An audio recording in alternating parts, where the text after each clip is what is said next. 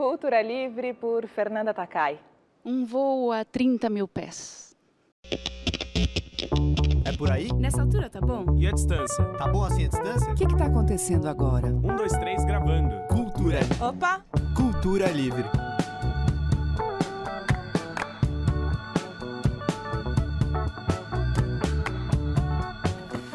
Oi, eu sou Fernanda Takai e vou mostrar para vocês o tom da Takai. Já me conhecem do Patofu há 26 anos e há 11 anos eu tenho uma carreira solo que a cada projeto se transforma. A banda se transforma, o repertório também. E hoje vocês vão ver pela primeira vez boa parte do tom da Takai. What can I say to you, bonita? What magic words would capture you? Like a soft evasive mist, you are bonita. You fly away when love is new.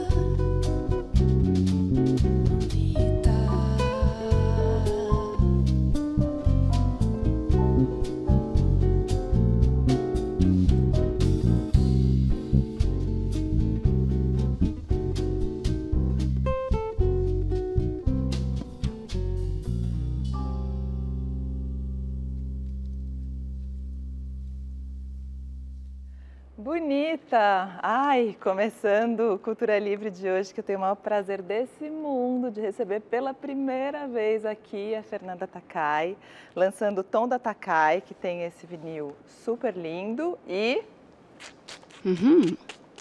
E tem fita cassete. E CD eu não trouxe, que CD todo mundo sabe o que, que é. É. já, agora. Coisa do passado, CD. É, CD já era, então eu tô só com vinil e com cassete aqui. Bom, hoje também tem disco a disco, tem o nosso meio feminino e eu vou começar apresentando todo mundo. Vou começar por aqui, Adriano Souza, muito bem-vindo. Ali, Diego Mancini, bem-vindo também. Caio Plínio, o mesmo. Tiago Delegado e Fernanda Takai. Estão todos aqui fazendo o Tom da Takai, esse belíssimo disco.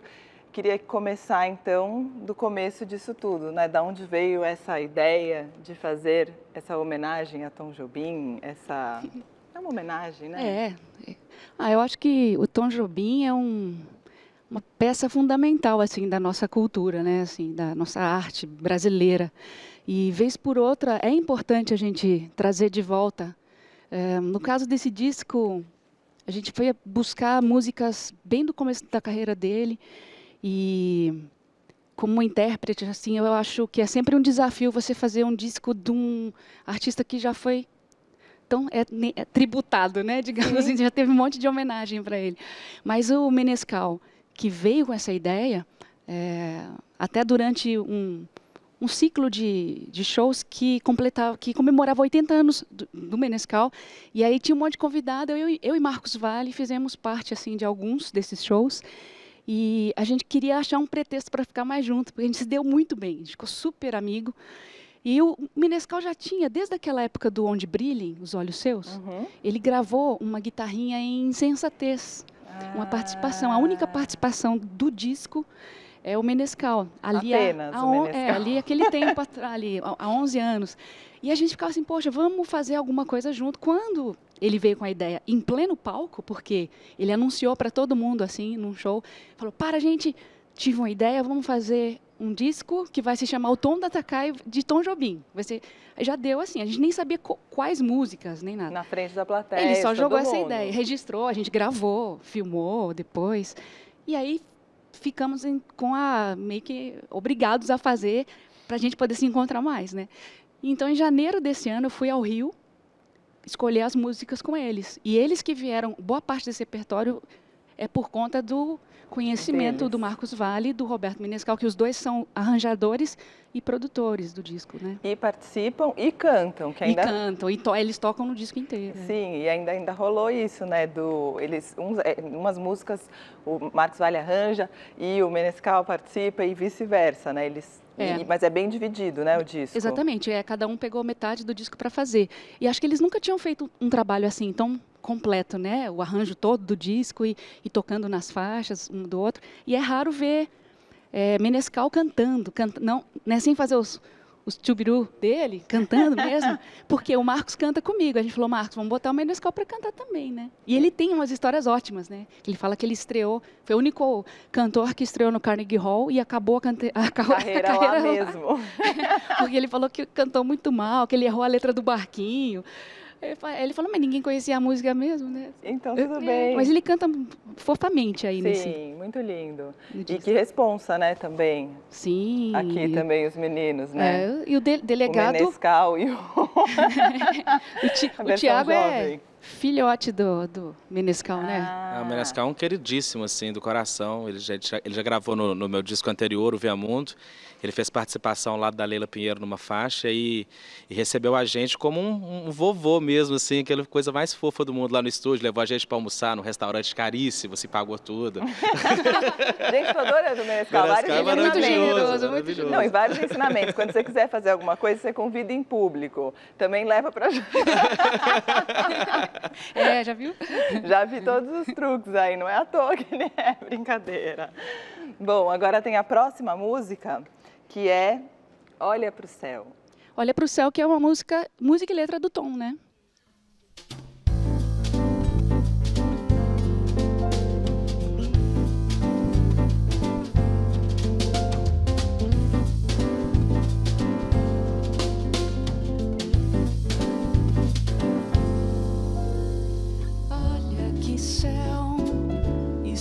Cheio de estrelas.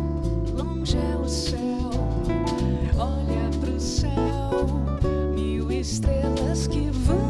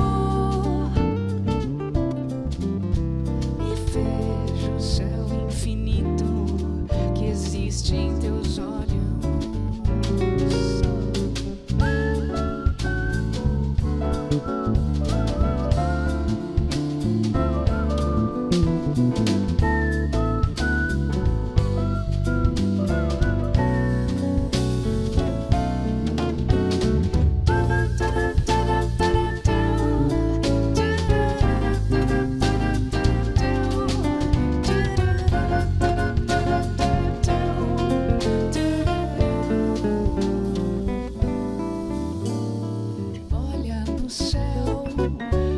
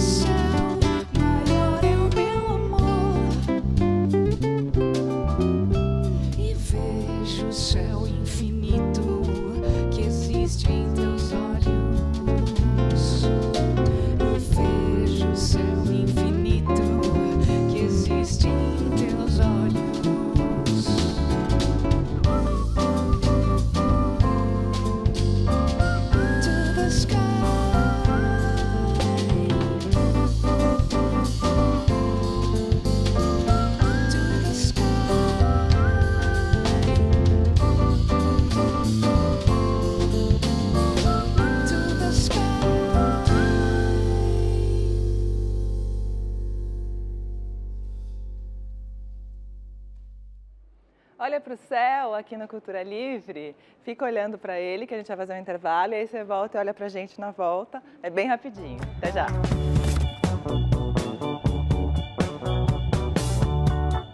Cultura Livre.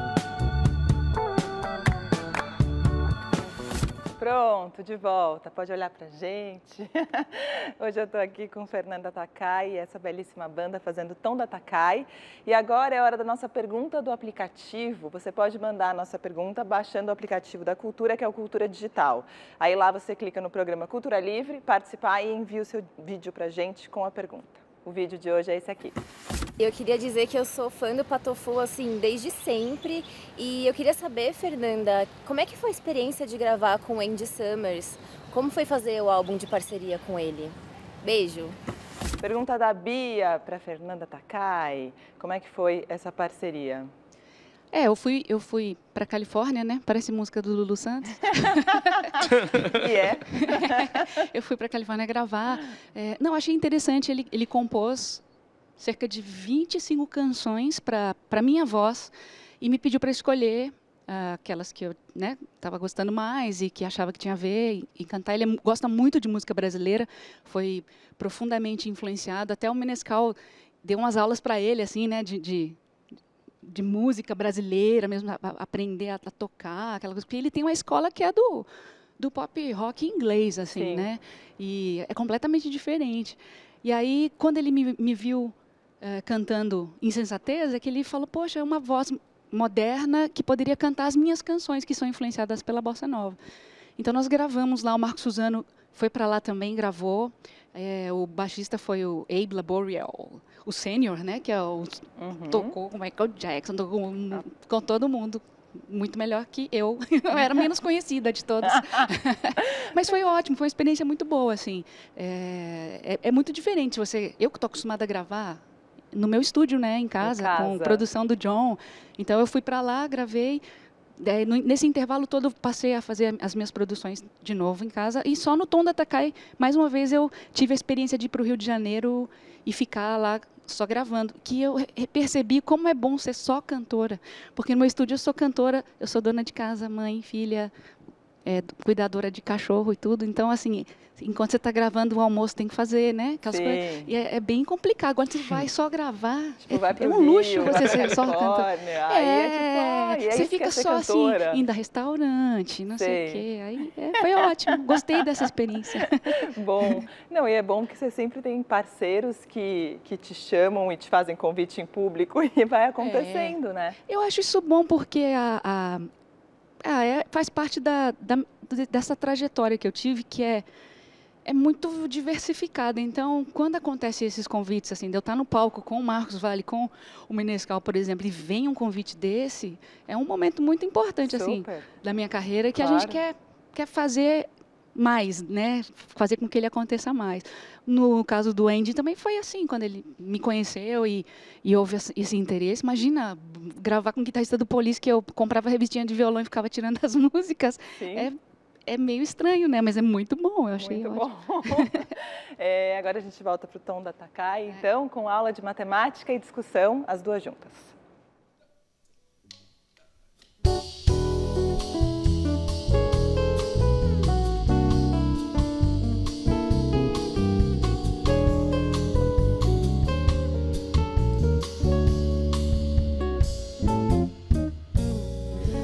Que dividir sem raciocinar? Na vida é sempre bom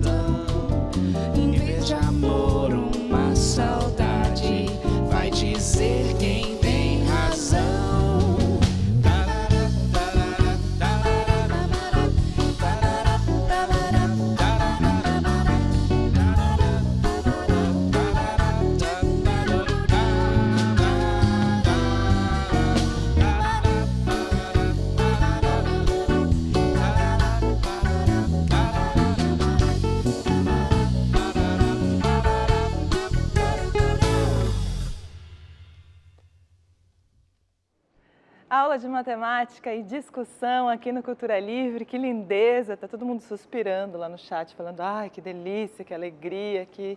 Ufa! Ah. Takai, você me falou que uma das primeiras lembranças que você tem da Bossa Nova era de ver uma apresentação da Silvia Teles. Ah, é que eu estava, quando eu estava pesquisando o repertório, ouvindo as, as músicas que a gente poderia gravar, eu me deparei com uma gravação da Silvia Telles num festival na Alemanha com a Rosinha de Valença. Né, e, e, as duas tocando, duas mulheres muito importantes daquela época, assim, já viajando. A Silvia Telles tinha gravado um disco em, em, inglês só de Tom Jobim. Acho que ela foi a primeira artista no mundo que fez um disco só com Tom, assim. E ela partiu muito, muito, muito cedo. Jovem. É, eu eu tinha, eu não a ouvi quanto, o tanto que eu ouvi Nara, por exemplo, porque Sim. tinha mais contato tudo, mas conhecendo essas canções que são do início ali do, do Tom, tinha muita coisa gravada pela Silvia e maravilhosamente gravada. Né? Então é uma cantora que é realmente muito importante. Assim. E foi nesse processo que você nesse, entrou em contato? É, que eu conheci mais, eu fiquei ah. conhecendo mais. Até o Menescal gravou com ela né? Então assim, os, os dois conviveram. É, é, legal que eles têm muita história para contar. Claro. Durante a gravação ali a gente ficava, eu ficava ouvindo e, e me encantando assim, porque além das, de gravar e ser artista também, eu sou público, né? Então a gente fica lá meio bobo assim, ah, nossa, olha só, conta mais, conta mais. Que legal, é. porque deve ter sido um período de estúdio muito bom, porque muito. você deve ter estudado muita coisa, além de tudo. É. E essa escolha de repertório foi super difícil? Escolher cada canção que ia entrar, porque eu imagino que o Menescal e o Vale deviam ter, tipo, ah, essa tem que entrar, essa não tem, essa não tem. E você também devia ter algumas. É, eu, mas olha, foi. Não teve, não teve atrito, sabe? Assim, a gente selecionou cerca de 20, 20 canções, 22 canções. É, a, a, grande maioria veio deles, né? Eu trouxe algumas coisas, mas é, ouvimos juntos em casa e depois quando a gente se reuniu para ouvir lá na casa do Marcos, já tinha um pouco o consenso de, deles entre eles mesmo, assim, e eu também. E a gente ouviu e foi fazendo notinha, sabe, assim, essa aqui é 10, essa tem que entrar com toda certeza, essa aqui 9, essa aqui 9. Ah. Mas foi meio assim. E chegamos, e chegamos num, num, acordo muito natural do que, do que seria gravado. E foi ótimo, assim, a gente até falou, poxa, esse, esse disco não tem nenhuma insalubridade, não, não, não, tem nada que a gente vai falar. Ah, esse pedaço do, da, da, produção foi muito cansativo, mas só teve coisa boa. Que o bom. Adriano gravou com a gente, o Adriano viu que, como foi legal o clima, né? Tá aqui de prova, né? É, ele, ele, é, ele, ele viu ali a, a, essa coisa dos arranjos, cada, os arranjos do Marco têm uma tendência para ir para um lado mais jazzy, né? Um uhum. bossa jazz, assim. O Menescal já vai para os sambetes, né? Então, é, aí chegava a partitura, ela com os arranjos novos, eles iam descobrindo entre eles. O Menescal não sabia o que, que o Marcos tinha feito, nem os músicos também. Era, um, era sempre um momento muito gostoso, né? Que delícia, devia ter filmado, feito um programa disso tudo, se eu soubesse. Agora a gente vai fazer mais um intervalo, mas antes tem o nosso meio feminino com mais uma mulher da música e a gente volta com mais Cultura Livre. Até já! Ana Morena é sócia e idealizadora do Combo Cultural do Sol, que há 15 anos envolve estúdio, centro cultural, produtora de vídeo e festival. Dentre as realizações do Combo está o Festival do Sol, que acontece anualmente em Natal. Ela também é baixista e fundadora da banda Camarones Orquestra Guitarrística, ou seja, ela é meio feminino.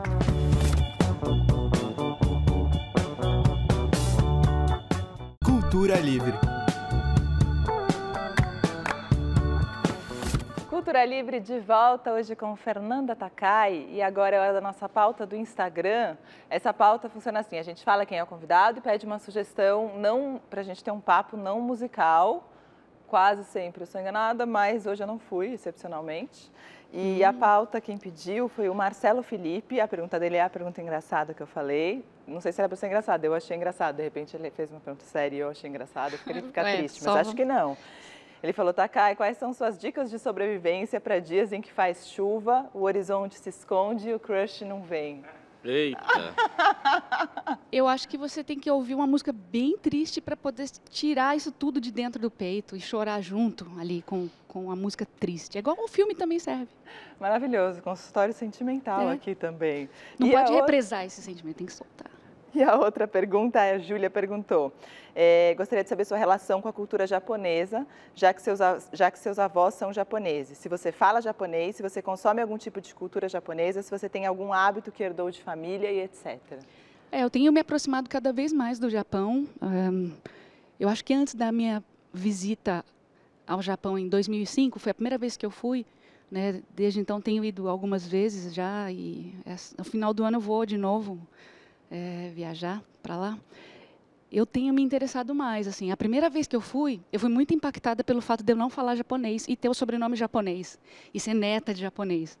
É, eu acho que a terceira geração de vários de nós aqui do Brasil, né, que tem é, ascendência né, de outros países acaba vai, vai, se diluindo, né? Vai perdendo. O pai fala um pouco, vai. a mãe fala um pouco, os netos hum, dependendo. Nada. Mas quando eu cheguei lá, é, eu fiquei um pouco envergonhada, sabe? Que, ai, eu, é que eu tenho mania de ser boa aluna, assim. E aí eu, eu fiquei, nossa, eu não, não fiz essa lição. Eu voltei e fui estudar japonês, né, numa associação nipo-brasileira, para poder, que eu ia fazer show no, nos anos seguintes, assim, e aí comecei a falar um pouquinho, estudar mais e, e cantar mais certinho o japonês das músicas que eu estava cantando, me comunicar no show com eles. É, eu gosto bastante, adoro comida, quer dizer, comida eu gosto de todas as comidas do mundo, né, porque eu sou meio gulosa, assim, mas a comida japonesa é maravilhosa, além de ser super saudável, né. E, e, e, e filmes, a Nina, que é a minha filha do John, ela, ela adora e desenha e, e gosta né, dos, dos mangás, dos animes. Então, assim, é, acho que está com a gente. Tá? E aprender japonês é muito difícil? É difícil. É tipo surreal de difícil? Não, não é surreal, assim. Na minha cabeça mas... é surreal de difícil. Não, olha só, se você for aprender a falar só não é, mas aprender a ler e escrever, né? Fazer a caligrafia ali, a, os fonemas e tudo, e começar a ter uma parte. São três alfabetos: o hiragana, katakana e o kanji. E aí você vai se aprofundando. O kanji, que é o mais que é o simbólico e tudo, é, exige um nível de comprometimento de estudo bem maior. E aí é uma coisa que você vai aprendendo aos poucos e não pode parar de aprender. Né? Até mesmo os japoneses lá. Meu irmão morou no Japão um tempo, foi estudar, e ele falava ele, fala, ele falava super bem, mas mostrava um candi para ele assim, nossa, esse aqui, eu ficava na dúvida, né? Eles mesmos ficam na dúvida, assim, é, é complexo. Mas Sim. nada é impossível, né? Se você quer, quer se comunicar e quer chegar mais perto dessa cultura. E a língua é um elemento muito bom para isso. Tanto que os, os japoneses que gostam de música brasileira, todas aprendem a cantar, né? Principalmente a bossa nova, que eles sabem cantar e cantam bonitinho, né? O, Sim. o, o Menescal mesmo fala que, que ele vai bastante lá também. E ele fala, olha, a pessoa chega falando com você, o japonês fala, e aí eu, eu começo a falar com ele como se ele falasse português, mas ele está falando tipo um pedaço de uma letra que ele sabe o que significa. Ele tá assim. É, e, e, é meio assim, a gente também, né? Eu comecei a aprender uns pedaços de letra e aí quando eu fui estudar que começou a fazer mais sentido. Eu cantava as coisinhas, parecia que estava tudo certo, mas ainda meio decorando. Então agora eu vou e eu hoje em dia com é, a tecnologia você pode estudar online. O, o site da NHK é muito legal tem um serviço muito bacana para você para ensinar japonês online. E você sabe falar, por exemplo, outra vez em japonês? É... Moichido. Moichido? É. Agora tem moichido. tá bom. Bom, eu espero que seja isso mesmo, viu, sensei?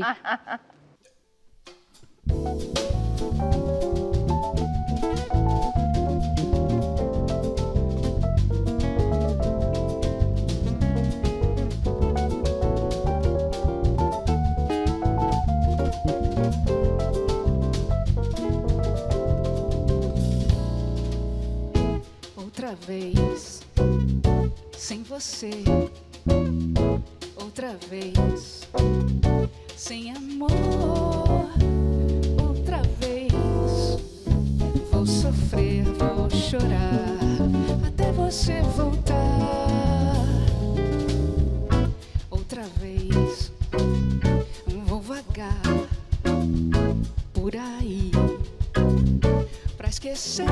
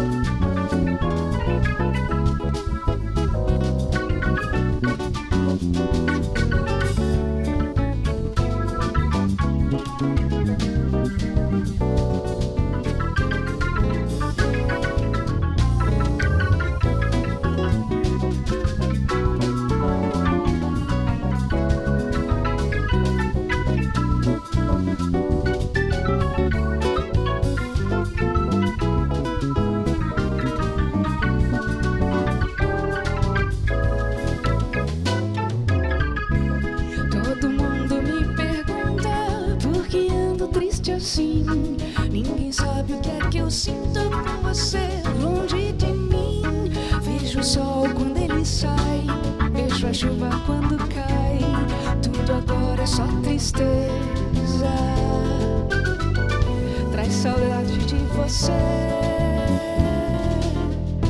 Outra vez. Outra vez. Outra vez. Outra vez.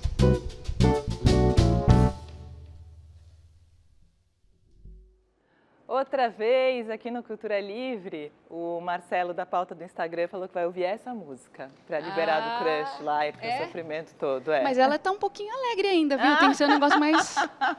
Eu acho que você devia ouvir Agridoce do Patofu. Boa, ó, falando em Pato Fu, Porque essa é de cortar o É. coração. Pato Fu, 26 anos de Pato Fu. 26. E aí, como é ter uma carreira tão longa É. já com uma banda? Você imaginava isso tudo? É, a gente imagina o Pato Fu, a gente sempre fala que era meio improvável, né? Que era um som meio esquisito, que a gente apareceu. é, Na época que a gente tocou, começou a tocar assim, era, era bateria eletrônica, umas coisas meio esquisitas. A gente fazia uma versão estranha do sítio do pica-pau amarelo. Mas foi acontecendo e as pessoas foram se afeiçoando a gente, né? Passaram achar a gente menos estranho, eu acho também. acho que teve uma evolução no som também. Acho que é, é, é, botamos um baterista de verdade. O Xande entrou, tocou com a gente um tempão. É, o, o núcleo principal continua o mesmo, né? Eu, John, Ricardo. A gente tem outros músicos. Hoje quem está com a gente é o Richard Neves nos teclados. É, o, o Glauco Mendes tocando na bateria, que era do Tia Anastácia, que é um músico maravilhoso também. E acho que a gente tem feito uma carreira muito interessante. Já passamos por várias fases. é, o John se mostrando um produtor muito bom, né? Fazendo um som muito legal pra gente, com, com muita personalidade. Sim. E é, assim, é, tem, eu acho que assim, durar tanto tempo, é, 26 anos uma banda, qualquer relacionamento que dura 26 anos, já, né, chegou na boda de prata, já ganhou troféu, já. Ganhou o já- troféu, total. E como faz, né? Porque eu imagino, imagina a quantidade de público, de gente que vocês foram conquistando jovens, né? No meio do caminho, sei lá. Porque eu peguei uma fase, aí agora já tem uma geração mais nova, já tem, o pessoal vai chegando Vai, é. e vai agregando. Vocês pensam nisso ou é uma coisa natural? Vai. Eu acho que desde o início, o Patofu, ele, a gente gostava muito de fazer videoclipe, né? A gente tem uma história de videoclipes muito legal. E o público mais novo, ou o público mais ligado em, em imagem, Imagem. né, mesmo, é, sempre via o Patofu como uma banda interessante. Assim, olha, essa, essa banda gosta de chamar diretores legais para trabalhar, né, in- instigante nesse sentido. E o público infantil, o público mais novo, sempre ficou Olha, é, tinha curiosidade. Os pais ouviam em casa e tinham aquela, né, aquele bichinho Sim. ali. Mas quando a gente fez o música de brinquedo, renovou o nosso público de uma maneira espetacular, porque você pegou bebê, né? A gente Aí pega vocês conquistaram bebezinho. já gerações Todo que não vai dar para fazer muitos anos de Vai, né? Mas eu- eu acho isso incrível, o impacto que tem um primeiro show na vida de uma pessoa, um show que, que não é um, um espetáculo só infantil, porque o música de brinquedo ele tem essas camadas diferentes. Ele, é, criança assiste, fica feliz, adulto assiste, adolescente, até vovô, vovó, todo mundo assiste e fala, nossa, que, que é música pop do mundo inteiro, né? Sim. Muita coisa brasileira. Mas aí tem o Giramundo, né? Tem é, o te- o Teatro de É Bonecos maravilhoso. e a gente tocando com os instrumentinhos. Então o impacto é muito forte numa criança que vai assistir. Então eu imagino que daqui a um tempo, aqueles que tinham. A Nina, quando tinha sete anos e gravou a vozinha dela lá no Música de Brinquedo 1, hoje é um adolescente que vai fazer 15 daqui a pouco. Né, já, já mudou, mas fica aquela, aquele momento. Então, quem está na plateia pequenininha assiste o, o Patofu, sempre vai ter um momento. Eu, por exemplo, meu momento impactante de show foi show da Rita Lee, na turnê Saúde, que eu era uma jovem, bem jovenzinha assim, e bem novinha, era criança, na verdade. E aí eu, gente, que coisa, que mulher! Ela toca guitarra, ela corre o palco todo, troca de roupa, e tem as, ela faz as músicas dela. E, e, e a Rita ficou para mim para sempre, né? É, a Rita também para mim ficou para sempre. Agora tem a próxima música que é fotografia.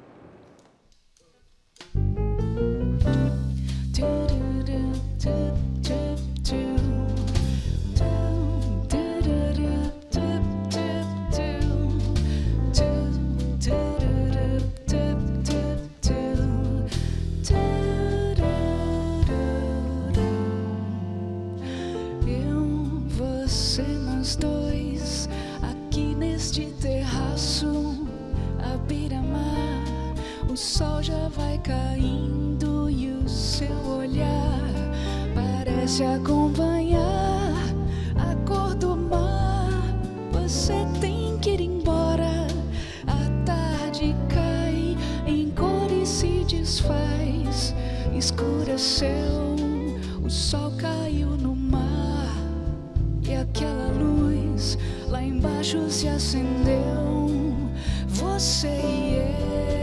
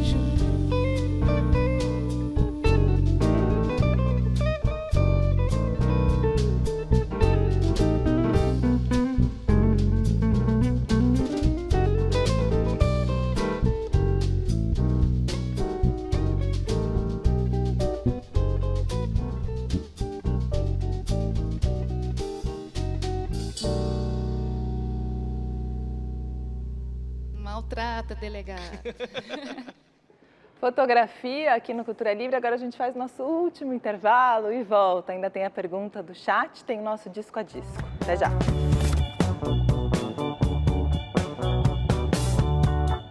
Cultura Livre. Cultura Livre de volta para o nosso último bloco. E agora tem a nossa pergunta do chat. Você pode participar no dia da gravação, tá? A gente sempre transmite todos os programas, aí é só assinar nosso, nosso canal do YouTube, você se inscreve lá, não é assim, né? Se inscreve, tem que ficar mais, mais jovem e, e sabe, com mais propriedade desse linguajar. Você se inscreve aqui, aqui, sei lá onde, e aí você sabe quando é que está no ar. Pergunta do chat. Bom, o nome veio Design 2.0, mas eu não sei o nome real. Mas é como é o processo de camaleonismo, caso essa palavra exista, dela antes de cada trabalho? Porque é uma proximidade e ao mesmo tempo diferença entre ambos que nos faz pensar em pessoas diferentes. É, eu canto desse jeito em todos os trabalhos, porque eu, eu tenho um tipo de voz que, a não ser quando eu estou dublando, sei lá, um, né, um personagem de desenho que eu já fiz também, né? É, ou tenho que inventar uma voz um pouco diferente, eu, eu, aí eu mudo bastante a voz, mas o jeito de cantar, eu canto do mesmo jeito, no patofu, no música de brinquedo ou aqui, assim, é, é o meu timbre de voz, eu canto baixo e é desse jeito. Eu acho que tem a maior transformação acaba acontecendo na formação musical de cada projeto. Tá. O figurino é importante, né? O figurino é, diz muito. A gente sempre foi muito ligada em, trabalhar com pessoas, figurinistas, é, estilistas, que têm uma linguagem que vai caber com determinado projeto, né? Então, isso ajuda também, porque é, você já, já tem uma cor diferente, Claro. né? Um- uma linguagem visual que vai com cenário. A capa de disco também traz muita coisa, muita referência para a gente poder ter essa parte visual, né? Mas a essência é, eu sou uma pessoa, pessoa que tem personalidades múltiplas, tripolar, assim. Terezinha Uma- falou até, ó, tem queria problema de saber qual é o signo dela, porque ela, como ela consegue ser tão versátil. Virgem.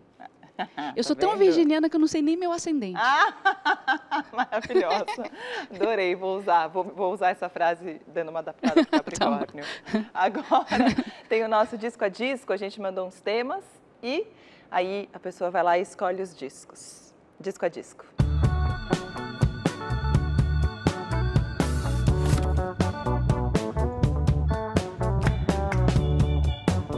É, o primeiro disco que eu toquei no Faro foi em 2012, foi o disco da Gabi Amarantes, Treme. Ela lançou o disco em maio desse ano, né, de 2012, e o, a minha primeira apresentação do programa foi em agosto. Então a gente tocou Treme e ela foi a primeira artista Faro, a primeira artista que eu entrevistei no programa. A Gabi tinha lançado esse disco, ela tinha. É, a gente tá falando de 2012 e o Faro é um programa que revela novos artistas. Então ela já, já tava tocando na novela bastante mas radiofonicamente ela ainda não estava no Dial Carioca. Então a gente quis trazer ela para o Dial e por isso a gente colocou ela como a primeira artista, Faro, o primeiro disco que foi tocado no programa. Eu vou ampliar, eu vou te roubar. O disco que eu mais ouvi esse ano foi o disco da Duda Beat, Sinto Muito.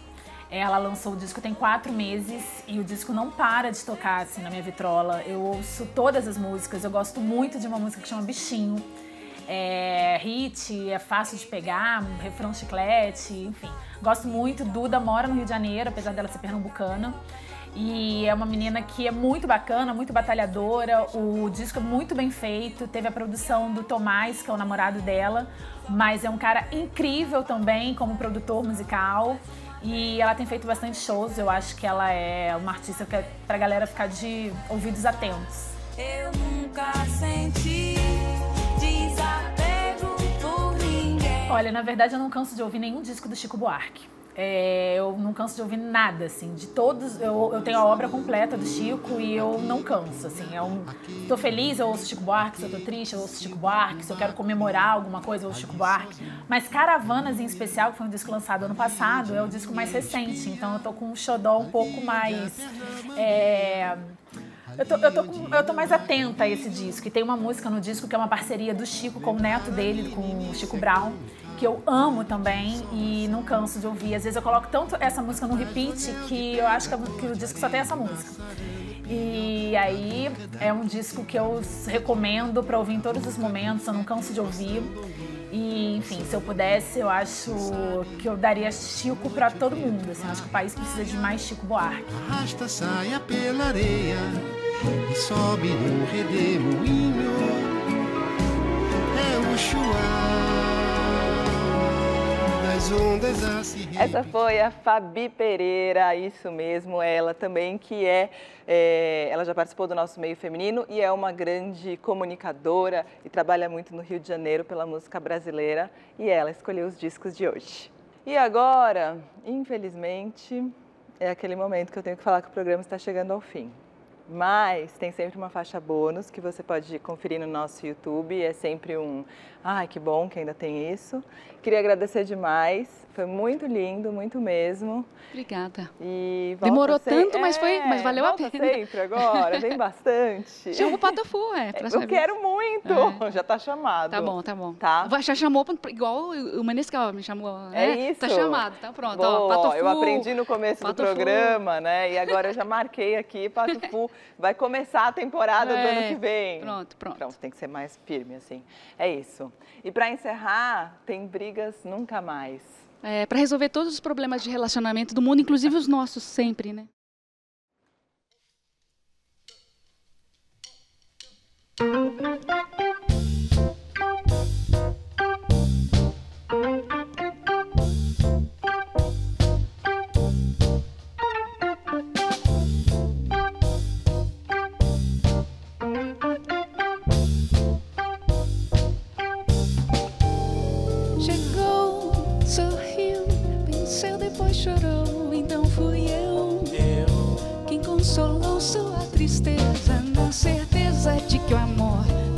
as fases más e é bom para fazer as pazes mais. Depois fui eu quem dela precisou e ela então Não. me socorreu e o nosso amor mostrou que veio para ficar mais uma vez por toda a vida.